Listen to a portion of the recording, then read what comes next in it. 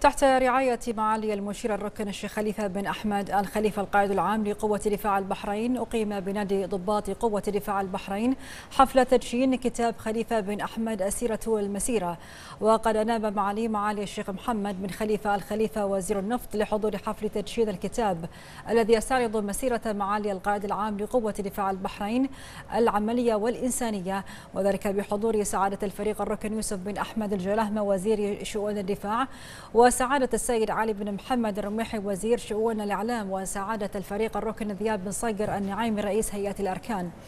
وقد ألقى الإعلامي سعيد عبد الله الحمد كلمة قال فيها إن معالي الشيخ خليفة بن أحمد من الشخصيات التي لا تحتاج إلى لقب أو توصيف يسبق اسمها فقامتها في المشهد فوق هامات الألقاب والتوصيفات وتاريخها وضع نقطة البداية لفصول لا تنتهي من مواسم البذل والإنجاز.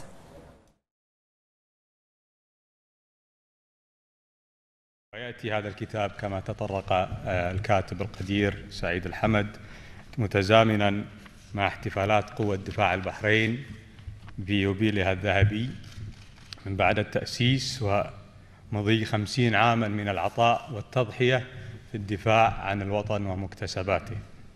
والفضل بعد الله يعود إلى جلالة الملك حفظه الله ومن عملوا معه من الرجال الذين صدقوا ما عاهدوا الله عليه. وكان شعار جلالة الملك منذ البداية أمر الله الرباني وأعدوا ما استطعتم لهم من قوة. ومنذ البداية جاء الدعم من الحكومة الموقرة بقيادة صاحب السمو الملكي رئيس الوزراء الموقر وتستمر كذلك بقيادة صاحب السمو ولي العهد نائب القائد الأعلى لقوة دفاع البحرين حتى نالت هذه المؤسسة من المكانة والرفعة ما هي عليه اليوم. ونفخر نحن وجميع أهل البحرين على ما وصلت إليه قوة دفاع البحرين. فأيما شرف ومكانة ورفعة يتمتع بها منتسبي هذه المؤسسة. فأتقدم بداية بالشكر الجزيل إلى الكاتب والصحفي القدير الأستاذ سعيد الحمد وإلى أخي العقيد الركن عبد الله بن سعيد الكعبي على جهودهم في إصدار السيرة الذاتية لمعالي المشير الركن الشيخ خليفة بن أحمد والذي تجدون في ثنايا هذا الكتاب محطات عن نشأة معالي المشير وتأسيسه لقوة دفاع البحرين بقيادة جلالة الملك حفظه الله حتى أن وصلت هذه المؤسسة إلى ما وصلت إليه من فخر ورفعة وعزة. فهكذا نشأت شخصية معالي الشيخ خليفة بن أحمد فهي شخصية الرجل العربي القائد تجد الولاء والوفاء والصدق والشجاعة والإقدام والكرم والعدل والإرادة والعزيمة كلها تجتمع في شخصية مثل شخصية الشيخ خليفة فهو القدوة الحقة لنا جميعا آه، لأبنائه في البيت ولأبنائه في العمل في قوة دفاع البحرين. ويعد كتاب خليفة بن أحمد السيرة والمسيرة مرجعا هاما لتاريخ البحرين العسكري في العصر الحديث والمعاصر حيث يعد مصدر ثري بالمعلومات القيمة التي سوف تتوارثها الأجيال الحالية والقادمة. وفي ختام الحفل تسلم معالي الشيخ محمد بن خليفة الخليفة وزير النفط من كل من الإعلامي الأستاذ سعيد الحمد والعقيد الركن عبد الله بن سعيد الكعبي النسخة الخاصة بالكتاب.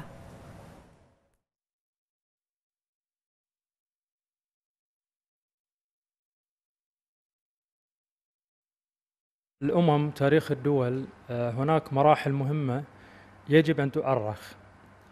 آه، وهناك قصص نجاح لمؤسسات خلفها قادة استثنائيين يجب أن توثق مسيرتهم. آه، المؤسسة العسكرية في البحرين المتمثلة في قوة دفاع البحرين قدمت الكثير.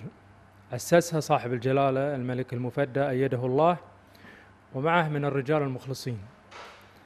صاحب المعالي آه، المشير الركن الشيخ خليفة بن أحمد آل خليفة القائد العام لقوة دفاع البحرين قدم الكثير من مراحل عمره خدمة لقضايا أمته العربية والإسلامية.